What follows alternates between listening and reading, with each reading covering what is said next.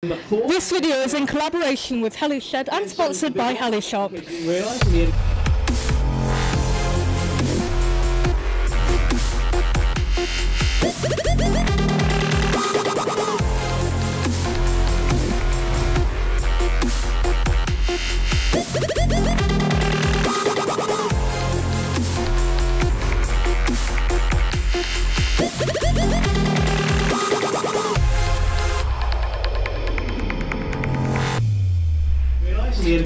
Here with Adam De-Maine and we'll be talking about the new Spirit Radio.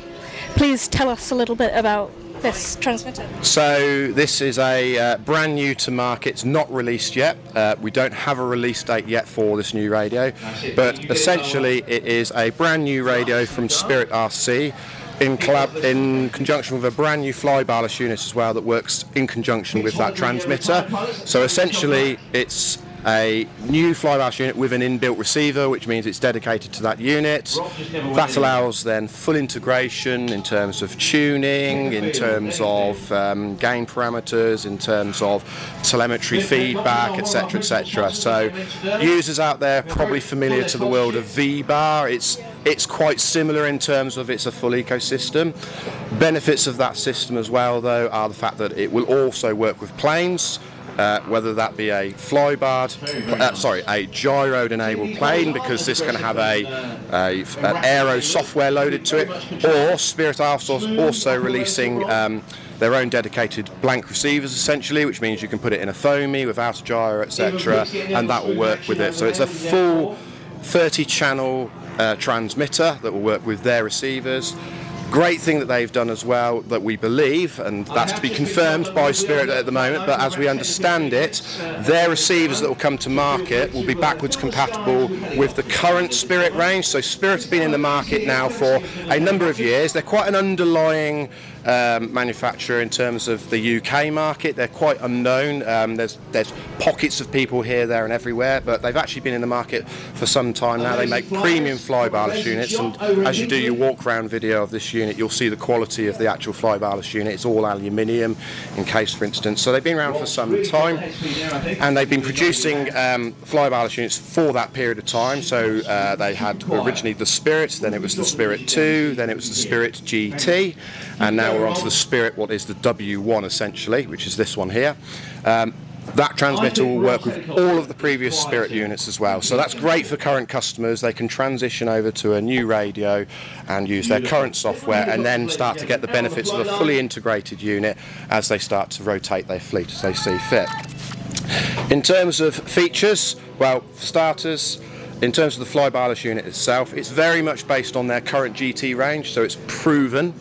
Um, the vibration immunity is second to none out in the, in the, in the marketplace at the moment. So on this particular helicopter, this is a rough running Rich 55HZ at the moment, so it's very, very vibey. Um, yet it's only got one single layer of tape.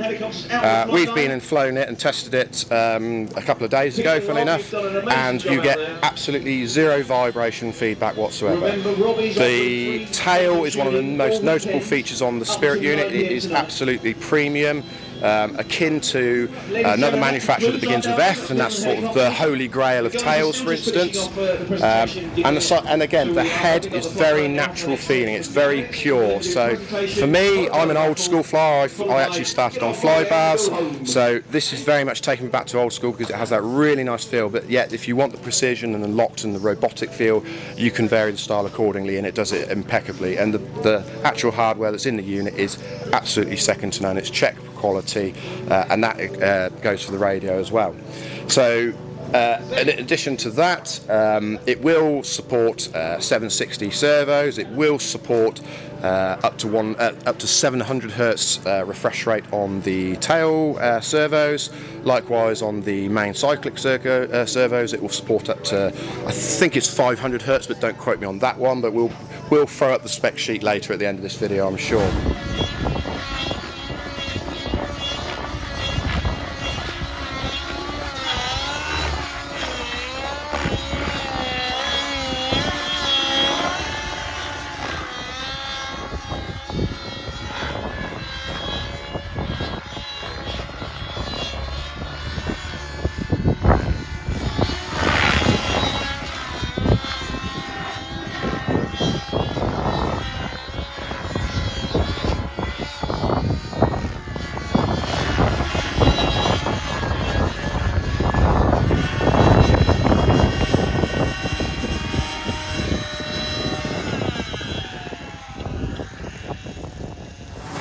Um, fantastic, Lo- beautiful information there, very clear, and I'm sure we'll summarise at the very end.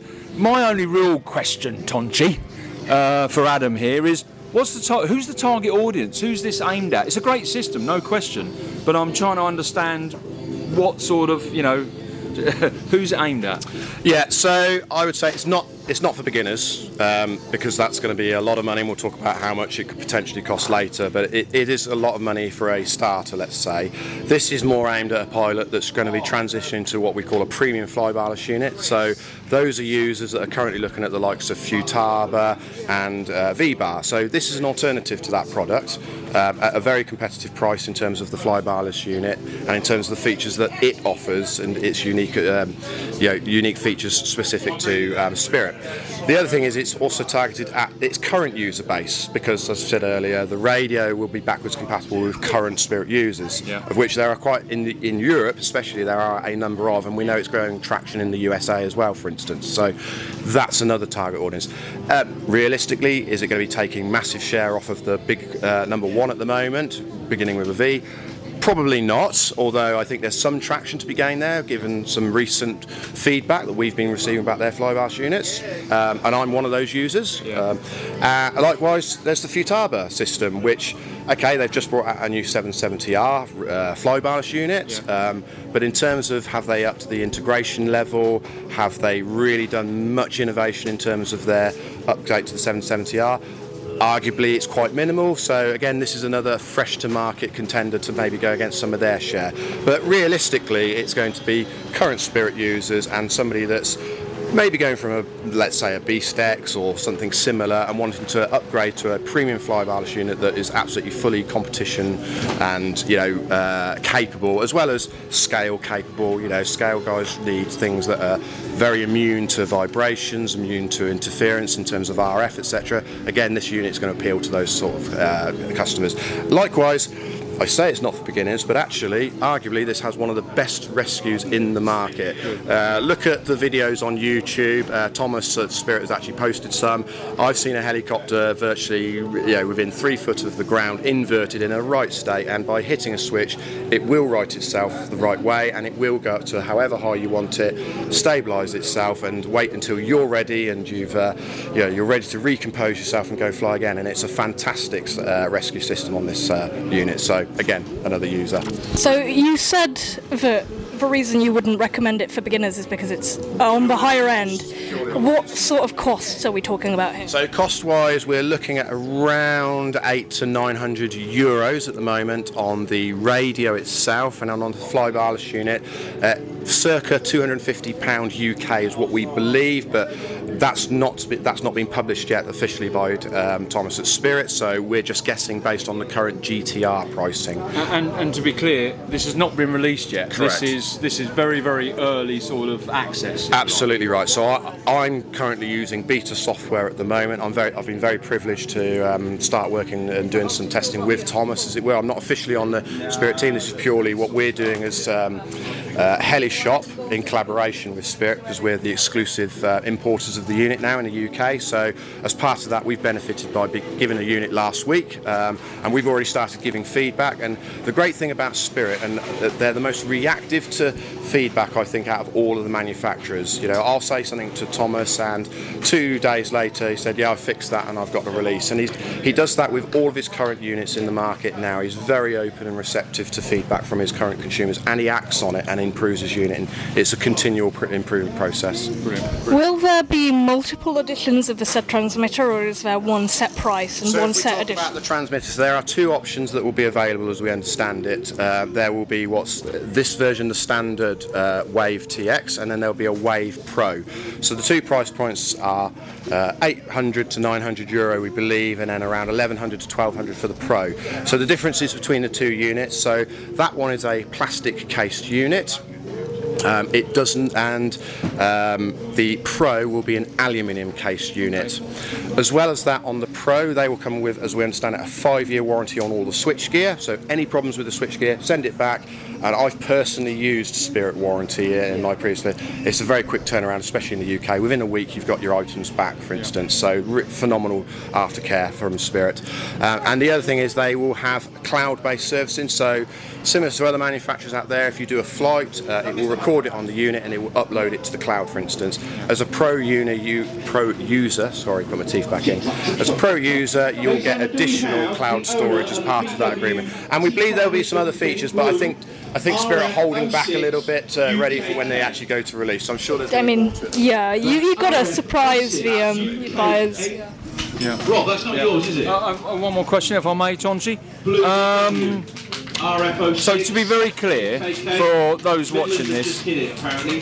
with, with if I was to get this when it comes out, It's going. I'm kidding, they're really I've only got an IQ of three, I'm afraid. Uh, one of those is to sleep, one is to eat, and the other is to use a computer. Work that one out, I don't know. But am I able to program this unit via a GUI on my computer, or is it all done in the transmitter? So you have the option. Okay. So if you're, uh, you can use the PC software, and current Spirit users will be very familiar with the software because it's not changed. It's the same as the current software that they're using today. Or you can do everything within the radio. Wow. So you can do it's a full guided setup. It's literally do this, swipe to the next screen, and it will tell you exactly what it wants you to do in terms of what numbers to enter, uh, what values to give to the sub trims, etc., etc. It will walk you through, and it's about 10 pages as I understand it. And when I say 10 pages, it's not war and peace. It's very much takes 30 seconds, swipe to the next page, and within I'd say five minutes you can have this helicopter set up quite easily. Brilliant. I'm sold. I'll have seven. That's what I like to hear. I'll have seven. I'll have seven, Alessio. I agree. I'll have seven. Yeah. No, I'm joking, mate. No, the wife will leave me. Oh well, thank you for this. Um, as you guys heard it, as soon as it comes out, it will be available, and it sounds like a very attractive piece of equipment. So those of you out there who are interested, go ahead and take a look. And obviously, thank you for your Where can we get this from? heli shop, Is there anywhere else Miss- we can get it from? Mr. Alessio. Can't get it No. No. So yeah, um, to speak to Alessio, and you'll get your own transmitter from him.